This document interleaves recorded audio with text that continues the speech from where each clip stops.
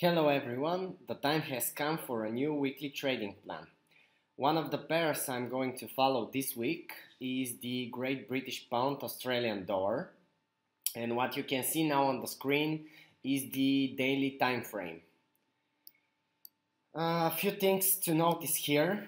Uh, first of all, you can see that um, from the end of April till now, uh, the price of the pair has dropped significantly and uh, it currently reached uh, this daily support area which we can see how uh, the price behaved before reaching to it.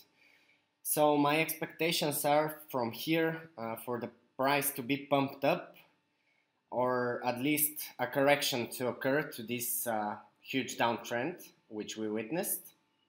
Another thing uh, very important to mention is that here we can see that the price almost touched the 200 SMA and uh, this is a confirmation uh, for our signal that from here we might see a reversal.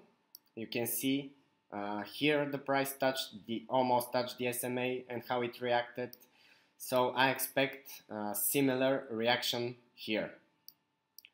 Now uh, our target would be this weekly resistance area our main target at least. Uh, we can see uh, what happened with the pair. When it reached it twice after that it was broken and acted as a support here before being broken. So it can act as a resistance now. Uh, here we have a more long-term target at the 1.82 level uh, where we had uh, consolidation on the daily time frame and the bottom of the consolidation was broken here and the down uh, trend started. Just in case, I have prepared a second scenario. Uh, if we see a break of this support area, at least on the daily time frame, uh, we might witness a continuation of the downtrend uh, to this uh, next strong weekly support here, uh, which is at around 1.7140 to 1.6986. Um, I don't believe that this will happen.